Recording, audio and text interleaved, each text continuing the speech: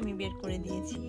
এখন যেহেতু ওয়েদারটা একটু ভালো হয়েছে, যেমন সিম গাছ, তারপর ডাটা গাছগুলো, কচু গাছ, এগুলো মোটামুটি আমি এখন বের করে দিয়েছি। আর কয়েকদিন পর পরই দেখা যায় যে একটু এদিক ওদিক না করলে গাছগুলো হয়তো ছোট ছিল, তখন এখন বড় হয়ে গেছে। সে কারণেই গাছগুলোকে একটু এদিক ওদিক করে দিতে হয়, যেদিকে সূর্যের আলো আছে এমন জায়গায় রাখতে হয়। আবার হয়তো জায়গাটা চেঞ্জ করে দিতে হয় কোনো না কোনো কারণে। আসসালামু আলাইকুম ভিয়ার চলে এসেছি বাগানে। আজকে আমার শশা গাছগুলো মাত্র চার থেকে পাঁচ দিন আগে আপনাদের সাথে একটা ভিডিও শেয়ার করেছিলাম। যারা দেখেননি, তারা ইচ্ছে করলে দেখে আসতে পারেন। সেই ছোট ছোট চারাগুলো পাঁচ থেকে, চার থেকে পাঁচ দিনের মধ্যেই একেবারে কতটা বড় হয়ে গেছে এবং কতটা চারদিক দিয়ে শাখা পোশাখা বেরিয়েছে এবং ফুল ছেড়েছে।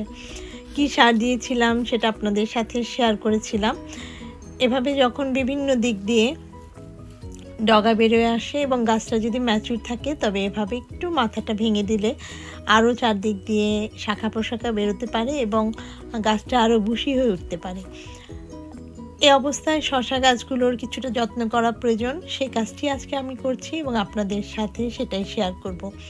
এখানে মাসাল্লাহ এখানে চারটা গাছ ছিল, সেখান থেকেই আমি একটা গাছ তুলে ফেলেছি। কারণ এতটা ছোট অবস্থায় যদি এতটা ঘন থাকে, তখন দেখা যাবে যে গাছগুলো ঠিক তেমনভাবে বেড়ে উঠতে পারবে না। আর আমার যে শশা গাছগুলো, এগুলো কিন্তু অনেক বড় হয় এবং অনেকটা লাউ গাছের মতো হয়ে যায় এই শশা গাছগুলো। তখন দেখা যায় যে একটু জায়গার প্রয়োজন হয়, সে কারণেই চারটা না রেখে এখানে তিনটার ব্যবস্থা করেছি। এবং এখানে এই যেহেতু এখানে ফুল চলে এসেছে, এই অবস্থায় গাছগুলোকে কিছুটা এক্সট্রা খাবার দিতে হবে, মাটিটা একটু নেমে গেছে। আর কয়েকদিনের মধ্যেই কিন্তু দেখা যাবে এই ফুলগুলো থেকেই শশা আসা শুরু করেছে।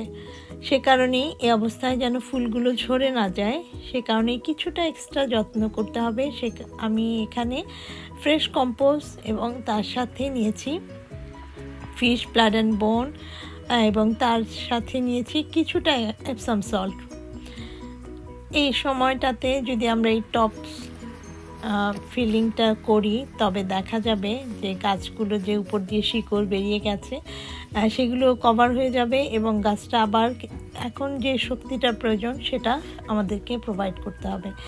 প্রত্যেকটা টবের মধ্যে আমি এভাবে চারদিক দিয়ে ফিশ ব্লাড অ্যান্ড বোন তারপরে বোন মিল একটু যা যা আছে, যেসব প্ল্যান্ট ফুডগুলো আছে, সেটা কিছু কিছু মিলিয়ে দিলে গাছগুলো আরও দ্রুত হেলদিভাবে বের উঠবে। আমি এখানে শুধু আজকে দিয়েছি ফিশ ব্লাড অ্যান্ড বোন এবং অ্যাপসাম সল্ট দেখতে দেখতেই কিন্তু গাছগুলো অনেক হেলদি হয়ে যায়। যখন গাছগুলো বড় হতে থাকে, তখন কিন্তু গাছগুলোকে একটু এক্সট্রা খাবারও দেওয়ার প্রয়োজন হয়। এবং খুব বেশি খাবার দেওয়া যায় না। যখন আমরা একটু বেশি খাবার দিয়ে দিই, তখন কিন্তু গাছগুলো জ্বলে যায় এবং গাছগুলো দেখা যায় যে মরে যায়। অনেক সময় আমরা বুঝতেও পারি না যে আমাদের গাছগুলো কেন এত হেলদি থাকার পরেও মরে গেছে। এটা কারণ হতে পারে খুব বেশি যত্ন করেছি অথবা কোনো না কোনো পোকার আক্রমণেও এটা হয়ে থাকে। এখন যেহেতু জুলাই মাস চলে এসেছে, এ সময়টাতে আমাদের এই গাছগুলো যে কোনো গাছের ক্ষেত্রেই কিন্তু একটু এক্সট্রা যত্ন করতে হবে। সেটা হচ্ছে, এখানেও তাই, এখানে চারটা গাছ রয়েছে, এতটা ঘন, এখান থেকে একটা গাছ সরিয়ে দিতে হবে। এই যে এই সময় এখানে দেখা যাচ্ছে যে শিকড় বেরিয়ে গেছে।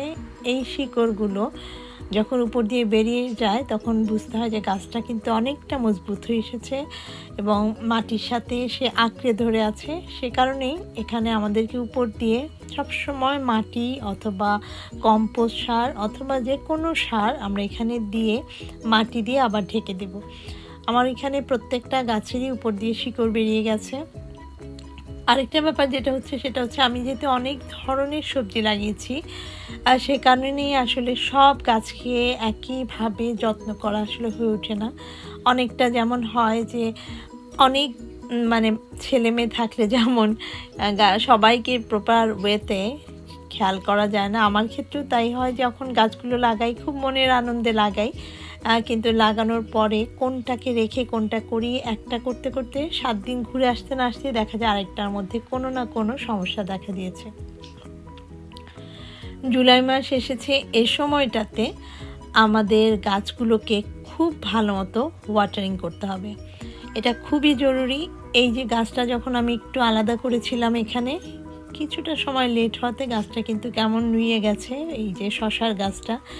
এই জন্যই ওয়াটারটা যে কতটা প্রয়োজন, আর দেখে বোঝা যায় না, কিন্তু যখন আমাদের গাছগুলোতে পানির অভাব হবে, তখন দেখা যাবে পাতাগুলো হলদে হয়ে যাচ্ছে এবং ভেতরে ভেতরে পোকার আক্রমণ হয়ে গেছে। এ সময়টাতে বিভিন্ন ধরনের মাছি পোকা, তারপরে বাটারফ্লাই, তারপরে স্পাইডার, বিভিন্ন পোকা আমাদের আশেপাশে ইনসেক্টগুলো থাকে। সে কারণেই এ সময়টাতে প্রত্যেকটা গাছকে খুব ভালো মতো ধুয়ে এপাশ ওপাশ করে, যেমন ফুলকপি গাছের ক্ষেত্রে থেকে শুরু করে বেগুন গাছ, সব গাছের ক্ষেত্রেই দেখা যায় যে কালো কালো পোকা, মাছি পোকা, তারপরে এফিস পোকা বিভিন্ন ধরনের নামে নামে যে পোকাগুলো রয়েছে, সবগুলোই কিন্তু যখন আমরা পানি দিয়ে ধুয়ে দিই, সেটার প্রকোপ অনেকটা কমে যায়।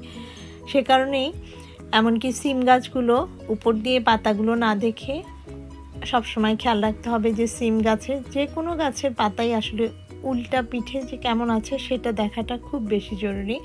অনেক সময় দেখা যায় যে আমরা উপর দিয়ে পাতাটা দেখি, কিন্তু ভেতরে থাকে, উল্টো পিঠে থাকে হচ্ছে। কোনো না কোনো পোকার ডিম সেগুলো আমাদের গাছগুলোকে একেবারে নষ্ট করে দেয়। আমি এখানে যেহেতু কচু গাছগুলোকেও বের করে দিয়েছি গ্রিন হাউস থেকে, এটাকে খুব ভালো মতো ওয়াটার দিচ্ছি। এভাবে যখন আমরা পানি দিব তখন দেখা যায়, একটু চেক করে দেখলে বোঝা যায় যে কিছুটা না কিছুটা উপকার হয় এবং গাছগুলো থেকে যদি কোনো না কোনো প্রকার ডিম থেকে থাকে, অবশ্যই থাকে কোনো না কোনোভাবে সেগুলো ধুয়ে যায়। এভাবে করে প্রত্যেকটা গাছকে এ সময়টাতে পানি দেওয়ার সময় শুধু যে হোম রেমেডিগুলো দিলে কাজ হয় তা না হোম রেমেডি দেওয়ার আগে গাছগুলোকে ধুয়ে দিলে এবং তারপরে যদি আমরা মেডিসিনটা অ্যাপ্লাই করি, তখন দেখা যায় গাছগুলোতে মানে সেটার উপকারিতাটা আরও বেশি হয়। এই ছোট ছোট কাজগুলো আমাদের আসলে এই সময়টা করতে হয়, তবেই কিন্তু আমাদের গাছগুলোতে সঠিকভাবে যে ফুলগুলো আসে সেগুলো ফলে পরিণত হওয়ার আর একটা সম্ভাবনা থাকে। আশা করি আপনাদের কাছে আমার আজকের ভিডিওটি ভালো লাগবে। ভালো লাগলে প্লিজ চ্যানেলটি সাবস্ক্রাইব করতে ভুলবেন না এবং লাইকস কমেন্ট শেয়ার করবেন। থ্যাংকস ফর ওয়াচিং আল্লাহ হাফেজ।